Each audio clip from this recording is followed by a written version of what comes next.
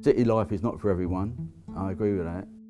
Some people can't bear it, it's too oppressive, too claustrophobic. But I've lived all my life in the city and I, I, I tend to love it. I studied at Camberwell, local art school, and then after that I went to the Royal College for a couple of years. I've been working for 40 odd years now, 42 years or so. The Biennale project is an abstract interpretation of the, my history of looking at the, the, the, skyline of London.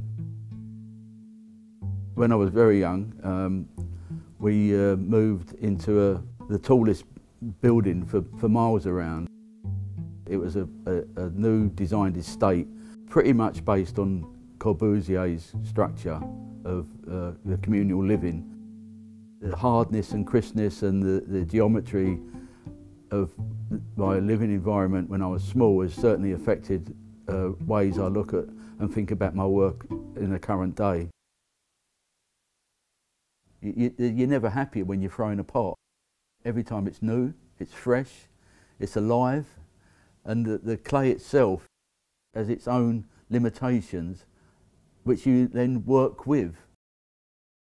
I hopefully always giving the object I'm making some sort of life and some sort of vigour and some sort of energy.